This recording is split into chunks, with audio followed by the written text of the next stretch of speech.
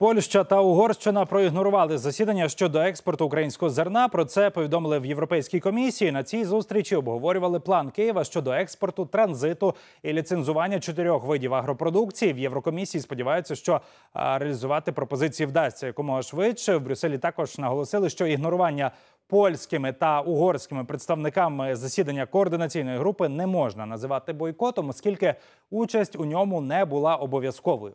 Наразі Київ разом з Єврокомісією та країнами Східної Європи намагаються виробити план щодо експорту української агропродукції, який е, дозволив би сусіднім країнам відмовитися від заборон на українське збіжжя. Два тижні тому Єврокомісія не подовжила заборону на вітчизняну агропродукцію. Тож Польща, Угорщина та ще Словаччина запровадили обмеження самостійно та навіть розширили їх. А Київ звернувся з позовом до світової організації торгівлі. Зрештою, український уряд таки запропонував європейським сусідам